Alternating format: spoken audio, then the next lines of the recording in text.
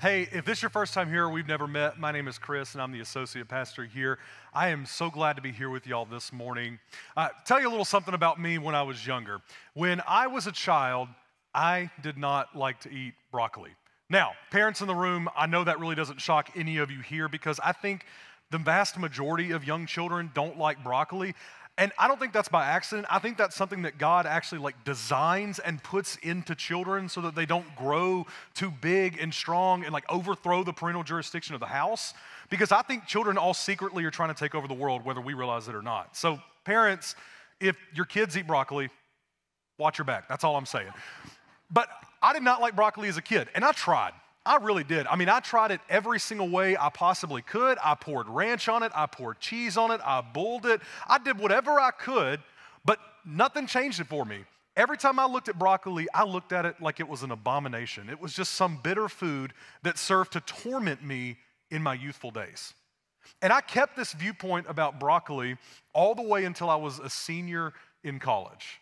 When I was a senior in college, my friends and I decided that we were going to start dieting. And so, one of the foods that we decided to bring back into our life was broccoli. Now, the reason is we knew broccoli had a couple of really good attributes, right? We knew that it was low in calorie and nutrient dense, all the stuff people say to make you eat it. And so, we were like, all right, well, it's got to serve some kind of purpose for us.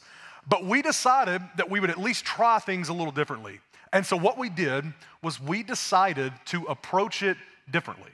We seasoned it with salt and garlic and pepper, and we roasted it in the oven. And bingo, right? All of a sudden, this horrible food gave way to glorious flavor. And now I love broccoli. It's one of my favorite foods. And so, this food that I spent years hating is now something that actually brings me joy and serves a great purpose for me. Well, we're continuing in our series, Save the Date, where we've been taking the past few weeks to look at what God's Word has to say about marriage. Now, this week in particular is going to look a little different because as we walk through a series on marriage, we believe that it's also equally important for us to talk about what God's Word says about being single. And so that's what I want to do with you this morning. And here's why I think this is such an important topic for us to talk about. Because I think whether you're married or single in this room, the vast majority of us tend to look at singleness kind of like I did when I, at broccoli when I was a kid. Right? We look at singleness like it's this bitter thing that serves no purpose in our life whatsoever. But I don't think singleness has to be that for you. In fact, I believe that if you can change the way you approach singleness, it can actually be something that brings joy into your life and serves a great purpose for you and for the kingdom of God. So, if you have your Bibles or Bible apps this morning, you can open those up to 1 Corinthians 7, and that's where we're going to be camping out for most of the day. Now, if you're not familiar with the book of 1 Corinthians, it's one of the letters that Paul wrote in the New Testament, and it's one of two letters that Paul wrote to the church in Corinth that we have in our Bible. And what we know about the church in Corinth is that Paul was very familiar with them. He knew the people, he knew the church, and he knew the issues that they faced because of not only context of knowing them, but letters that they wrote to Paul. And so he wrote the book of First Corinthians as a way to try and address and correct some of these issues. And a few of the things included in this topics were marriage and singleness. And who better to talk about marriage than Paul, right? Because he's one of those people, if you're familiar with Paul, you may know that a vast majority of the most popular teachings on marriage, and even some of the most controversial ones on teachings of marriage, come from Paul in the Bible. And so Paul actually held marriage in very, very high regard. And we know this because in Ephesians 5, when Paul describes marriage, he uses a Greek word called mysterion, which translates to this idea of a highly important temple ritual. And so Paul held marriage with high esteem.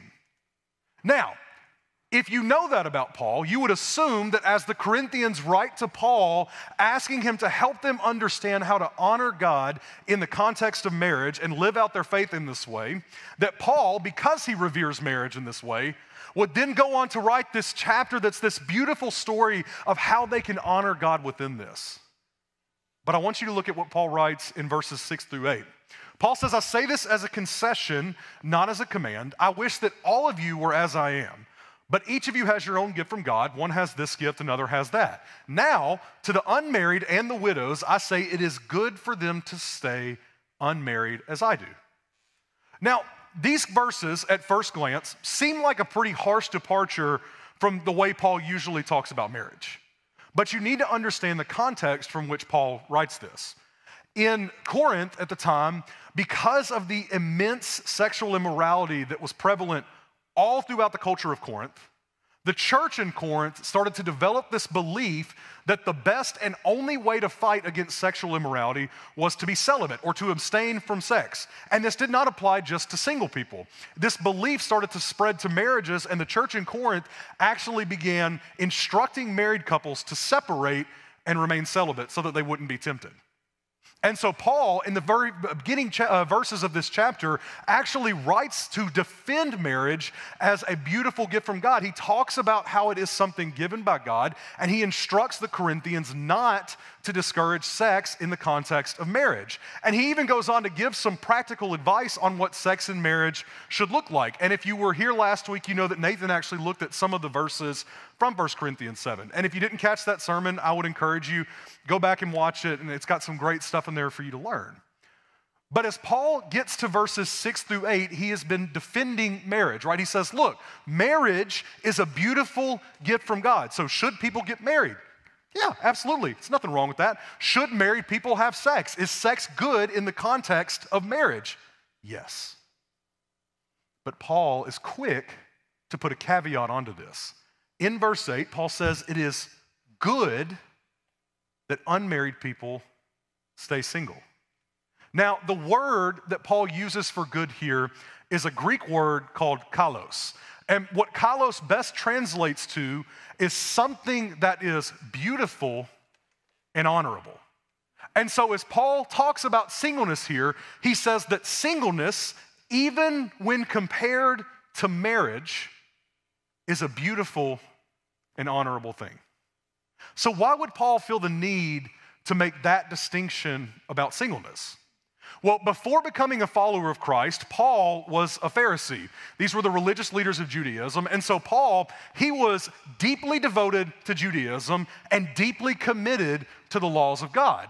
And you may not know this, but in the time that Paul was a Pharisee, there was a belief in Judaism that to remain unmarried was actually a sin. And they based this law on Genesis 2:18, which said, "It is not good for the man to be alone. I will make a helper suitable for him. Now, this verse comes in context of the creation story found in Genesis, right? It's explaining how we got Adam and then we got Eve. But what was meant to be an explanation for the creation of women and where marriage came from became Judaism's command for marriage. And so it was actually a belief and a law at the time that if you were a man, by the time you were 20, if you were still unmarried at the age of 20, you were considered to be excluded from heaven and no longer a man in the eyes of society. Marriage was not a goal to strive for, it was a standard to be met. And I wonder how many of you have ever felt that way about marriage as well. Maybe it was something that was pressured on you by your parents growing up. Maybe it's something you feel as a result of a society that preaches independence but strives for the fairy tale ending. Or maybe it's a belief that was instilled upon you early in the church. Whatever the case, this verse right here has been the cause of a lot of grief. Because if you look at this verse and you misinterpret it, it lends to the idea that God has this perfectly designed spouse for you. Anybody ever heard that before? Yeah.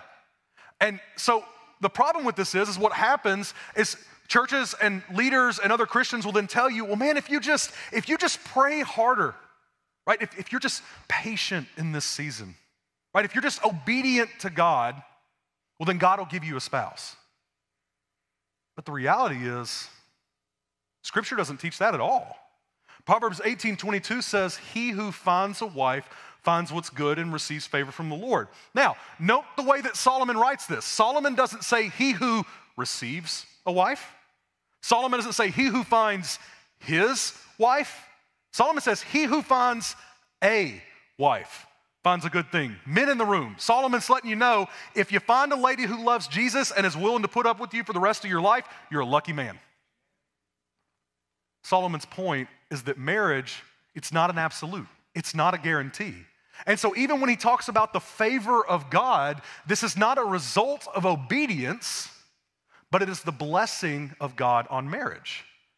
That marriage, it is God ordained, it is a beautiful gift, but it is not the end all be all goal of your life. And so the point that Paul is making as he talks about singleness here is he's saying, look, singleness, it's not some curse.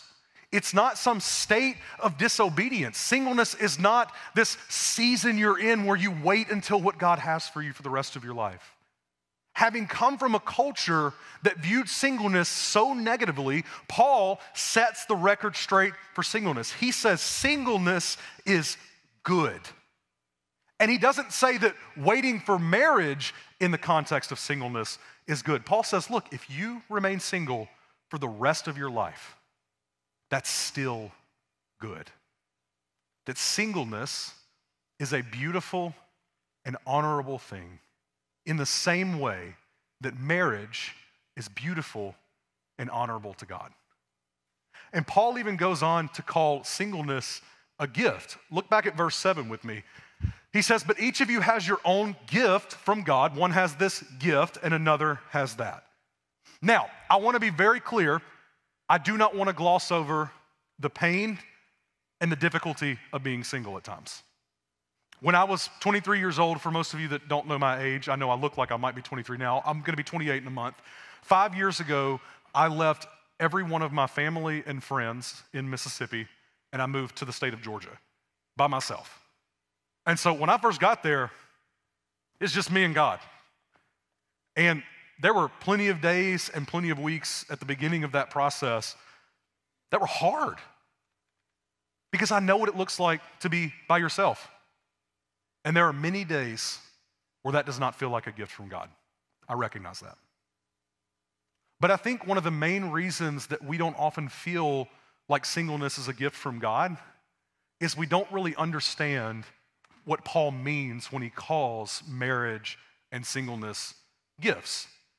See, the word that Paul uses to describe marriage and singleness here is not the typical word used in the Greek for gifts. As Paul describes marriage and singleness, he actually uses a word called charisma, which is where we get the word charisma from. And its basic definition, in literal sense, is a gift of grace or a grace favor.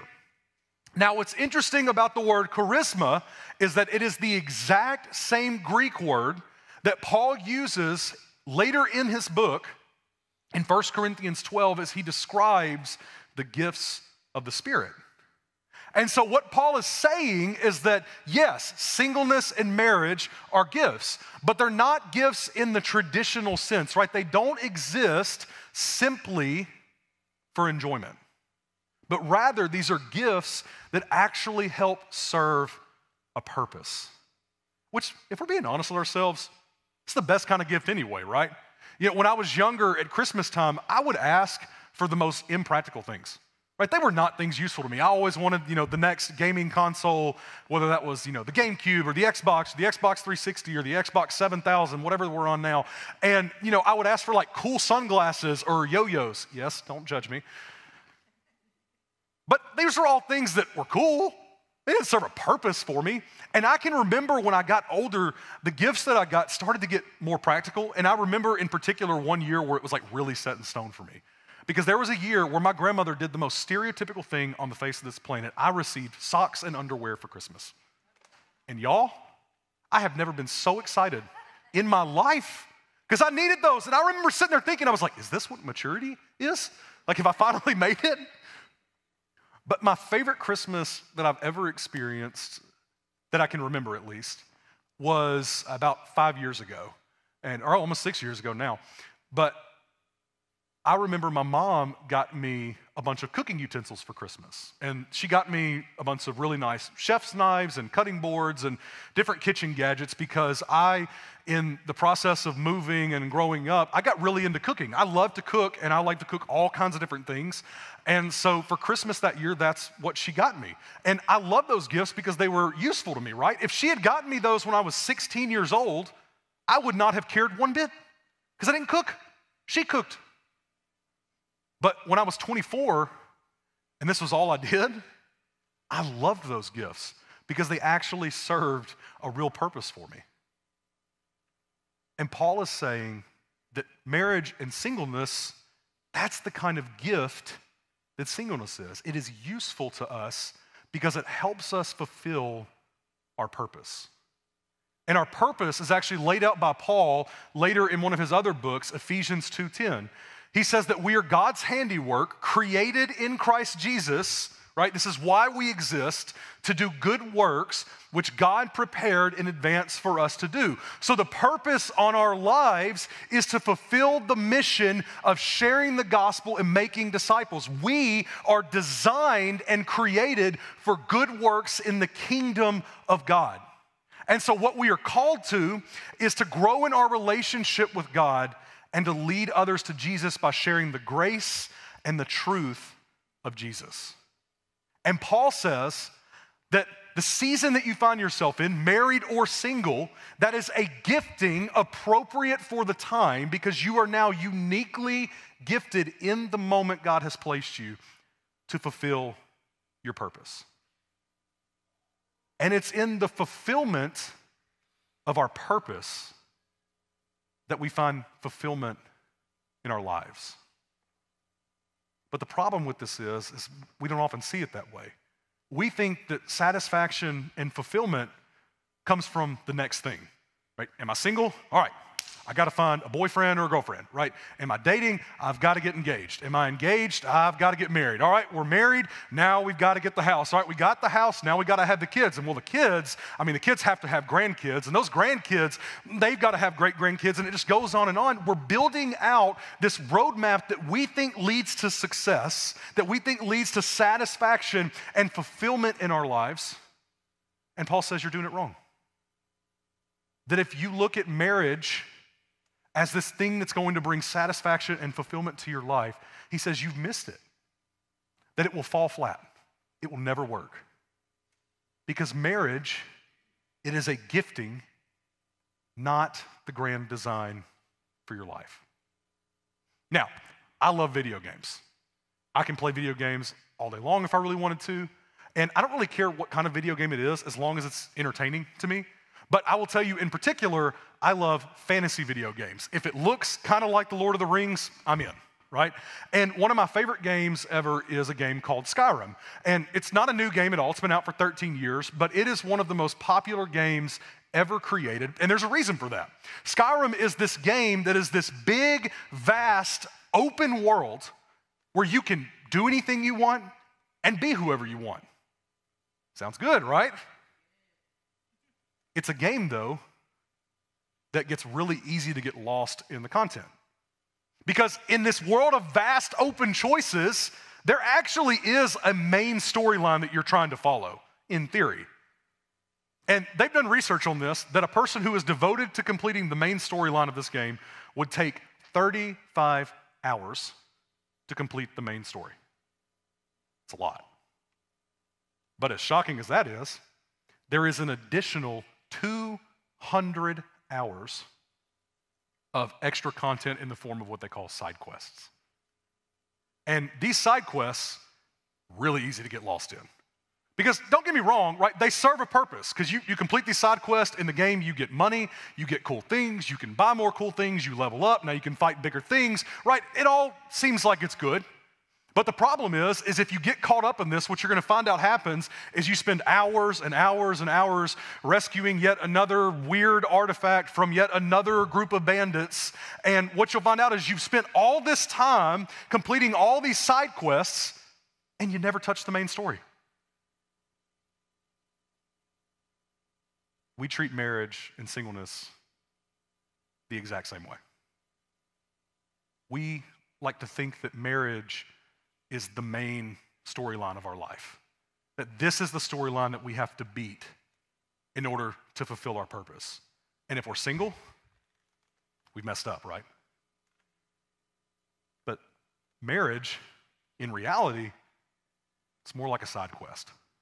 Now, that's not to discredit marriage, right? Marriage, good, beautiful, has great benefits for us. But it is not the grand purpose of your life. The grand purpose of your life is to fulfill the calling God has placed on you to do good works in the kingdom of God. And so, what will happen is if you let marriage become the goal of your life, rather than embracing the season God has put you in right now to fulfill your purpose, then you're going to miss out on so much of the life that God has planned for you. I love a quote. Uh, it's by Jim Elliot, the famous missionary. And this is what he said about this. He said, Let not our longings slay the appetite of our living. He says, Look, marriage is not the goal. Right? The goal is that we fulfill our purpose to God. And so he says, look, don't let the desire of marriage become greater than your desire for God to use you in his kingdom. Don't look at singleness like it's this burden. Don't look at it like it's the thing to wait for the next thing to come in your life, but embrace singleness as a gift from God to fulfill your purpose. Let Him use the time in your life that you're in now to lead you to a growing relationship with Him that leads you to bring people to the feet of Jesus. That if you can do that, Paul says this is where the fulfillment you seek comes from. Now, the question to ask is if singleness is a gift, right, we've established it is a gifting appropriate for the time. The question to answer then is how is it useful to us and what do we use it for? Well, look with me at our next verses. This is verses 25 through 31. Paul says, Now about virgins I have no command from the Lord, but I give a judgment as one by who the Lord's mercy is trustworthy. Because of the present crisis, I think that it is good for a man to remain as he is. Are you pledged to a woman? Do not seek to be released. Are you free from such a commitment? Do not look for a wife.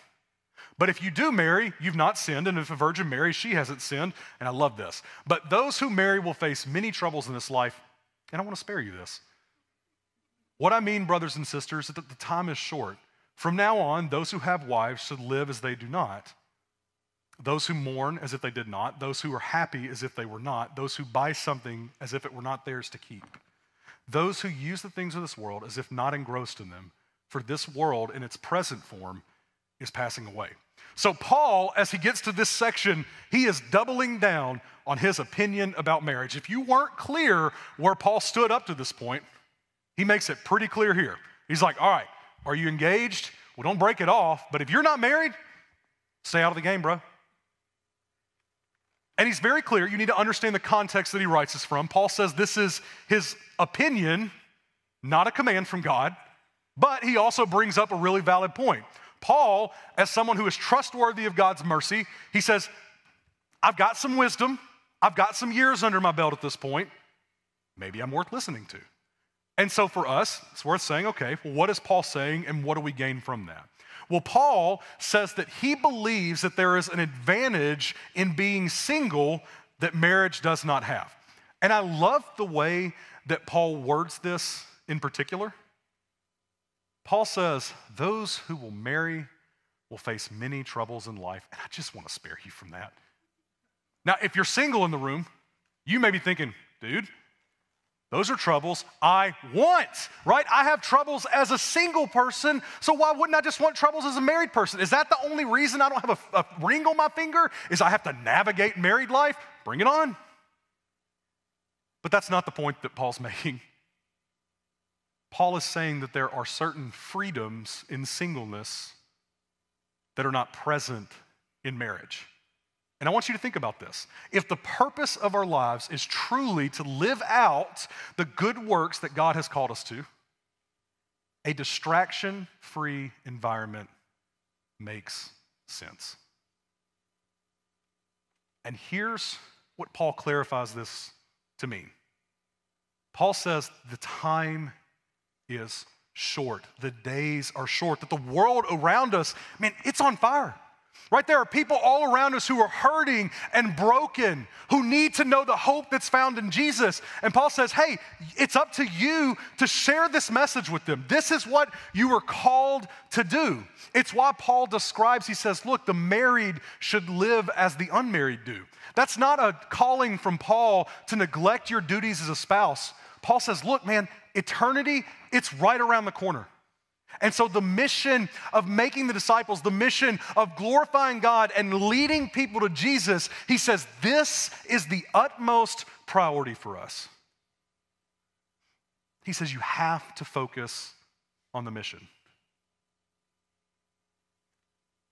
But focusing on the mission, it requires an undistracted devotion to God. Because the goal is that we would grow deep in our relationship with God and in turn, we would grow in the fruit of the Spirit and we would become effective in leading people to Jesus.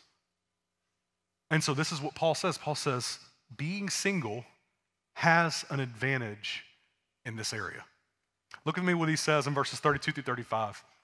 Paul's going to say similar phrase. Said, I would like you to be free from concern. An unmarried concern is, or unmarried man is concerned about the Lord's affairs, how he can please the Lord.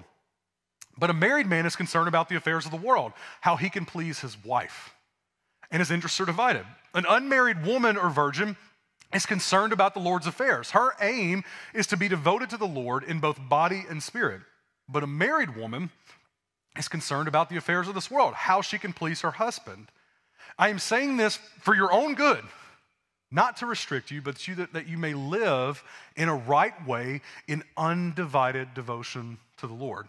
So Paul says, Look, I want you to be free from concern. I want you to understand that singleness, it's not this burden, that if you approach it in the right way and approach it not as a burden, but as a, a gift that is appropriate for the time, it is useful in leading you to growth in Jesus. Right? He says there is an advantage to singleness. It's not this bad thing. But the issue is, we don't really view singleness that way oftentimes what we do instead is we look at some different stage in life, and what we like to do is we like to amplify the benefits of that other stage, and we like to downplay the limitations that it has right? And then we look at the stage of life that we're in and we do the opposite. We amplify the limitations of the stage we're in and we downplay the benefits. Does that make sense? Now, it's like this grass is always greener on the other side when it comes to marriage and singleness, that we're constantly looking at the other thing and going, I bet that's better than what I got. And Paul's point here, he says, you need to understand that yes, there are limitations in singleness. But there are also limitations in marriage. And Paul says, I want you to be free from concern. He says, I want you to be free. Other ways to translate this are free of anxieties, free of the worries of marriage. Listen, every married person in this room will tell you marriage, it's beautiful. But marriage has its drawbacks. There are concessions and compromises and changes and distractions that you will go through in marriage that you never would have expected. And Paul talks about this in verses 32 through 33. He starts off, he says, Look, I'd like you to be free from concern because what does he say? The unmarried man, he is concerned about the Lord's affairs, how he pleases the Lord. He says, The unmarried man, the only thing this dude really has to worry about in his life is to grow in his relationship with God. If he can figure that out, he's good, he's done, right? There is freedom for the unmarried man. But the married man, that poor guy. Paul says he's got all kind of things to worry about. He says because he's not just taking care of himself anymore, he's got to take care of a whole other human. Paul says his interests are divided. So, single men in the room, you might be thinking, I'd love to get married. That sounds great. Not saying it doesn't, but I want to give you a little heads up. Life changes when you get married. Right now, if you're single, let's say you have a hard day at work, okay? You get done with work, you're exhausted. All you want to do is come home, slam your door open, fall on the couch, veg out for eight hours. And you can do that because you're free. But the minute you're married, dude, that's game over, right? You're gonna come in and you're gonna fall on this couch, and in will walk your beautiful wife. And she's gonna ask you, How was your day? And you have to respond to her. And you can't just give her a blanket, fine. That's not gonna cut it. Men, she wants details, details, details. And then when you're done sharing about your day, you're gonna have to listen to her talk about her day. And you can't just listen with your ears, you have to listen with your eyes. It's all about eye contact okay? And you don't even just get to listen, but then you have to talk back with her and you have to say things like, well, I'd be thinking the same thing. I can't believe she said that. And you're gonna have to make choices in your life that you never knew you were gonna have to make. Like, how many different kinds of leather couches can possibly exist? And what is a duvet cover? Why isn't it just a big blanket? Why does the blanket have a blanket? And why do I have to sell my kidney to buy it? And women, Paul says, you're not free from this either. Verse 34 says the same thing. An unmarried woman or virgin, they are concerned about the Lord's affairs, right? She says, same deal, right? The unmarried woman, she's free. Her only concern is her relationship with God. But when you're married, you now have the concerns of the world. There is a man in your life that you get to take care of. So, women, you need to know that that knight in shining armor you're planning to marry, you're gonna have to take care of that man. And I'm not talking about just in the bedroom. You're gonna find out that this dude has all kinds of things that he has no clue how to do. Laundry? He doesn't know what laundry is. He knows if it passes the sniff test, it's good to go, right? And even once you get those clothes clean, folding them and putting them away, that's nonsense. There's a corner of the room for that. He's gonna shove it all into a basket and he's gonna dig through it for a week like an animal. And cooking, he probably knows how to cook. It's good. Don't know how to clean up after it.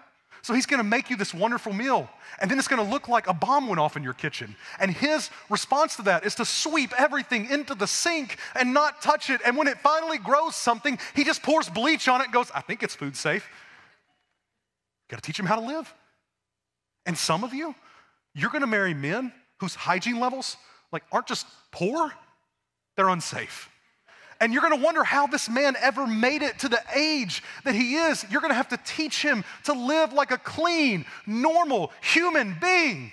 And maybe you have a stressful day at work, and all you wanna do is you wanna come home and talk to your husband. You wanna pour your heart out to your soulmates because he's there to walk through life with you. But as you speak to him, his eyes glaze over, and instead of staring at you, he stares through you like some dumb ogre who doesn't understand what you're saying.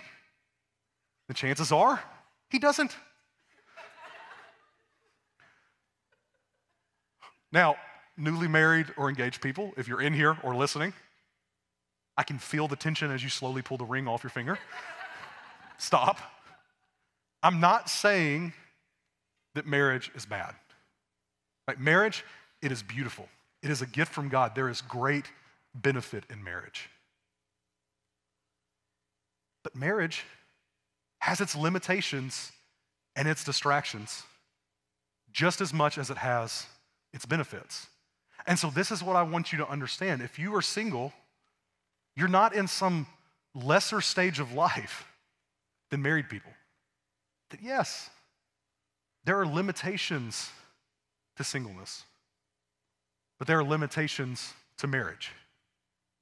And there are also great benefits to singleness.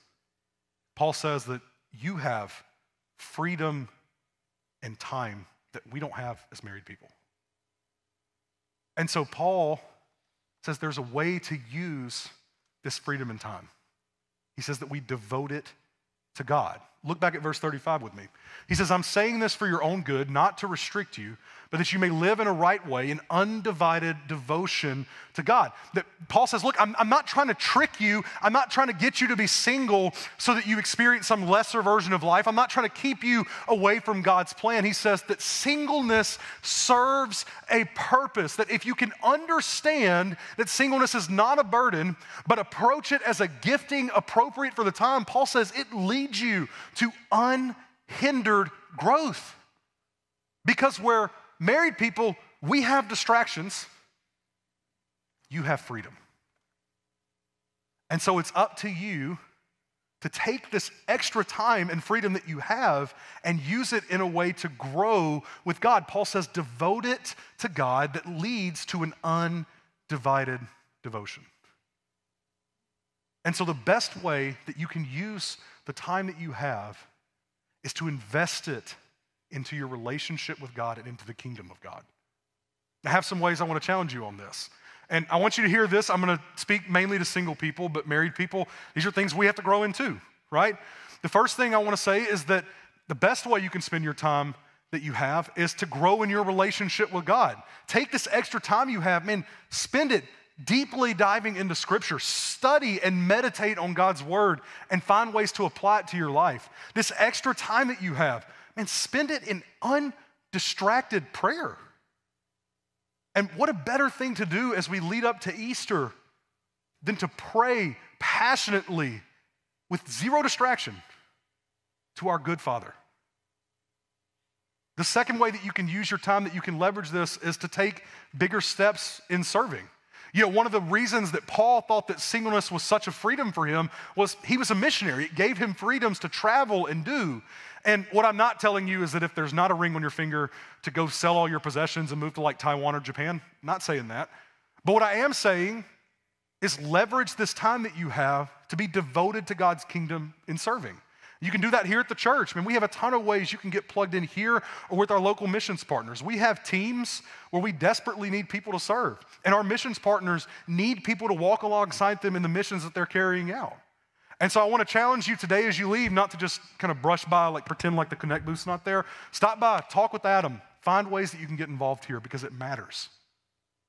The last way that I would encourage you to use your time to grow in your relationship with God is to take up the challenge to disciple someone. Look, as you're growing and maturing in your faith through time with God and through service to Him, the next thing you can do is teach someone to do the same thing. Find someone in your life who you can help grow in their faith and leverage this extra time you have to meet with them, spend time with them, teach them what it looks like to follow Jesus.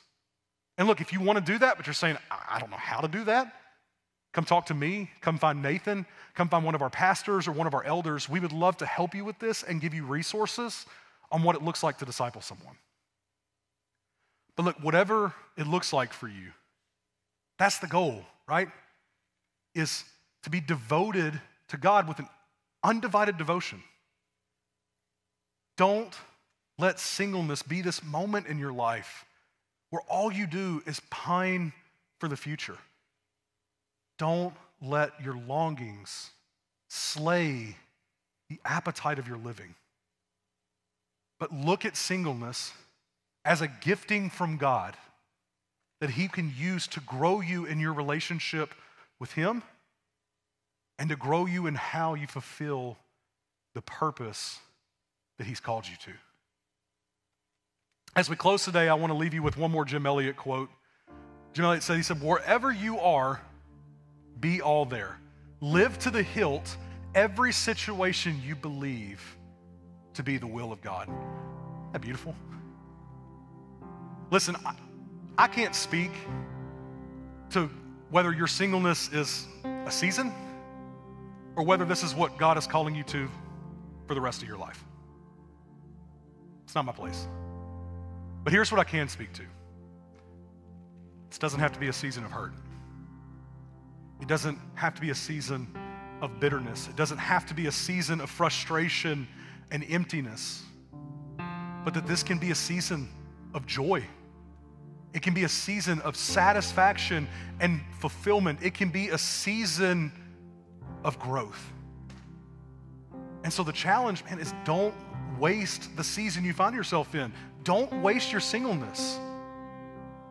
But whatever you find yourself in to be the will of God, live to the hilt wherever you are. Be all there.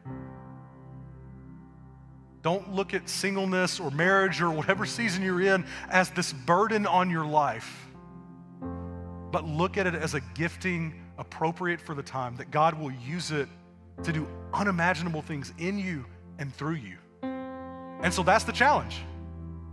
Embrace the season you're in. devote yourself to God in that season and let Him grow you in your relationship with Him and to live out the purpose He's called you to. And if you can do that, you will be blown away by the joy and the fulfillment and the purpose that you will find in your life. Let's pray.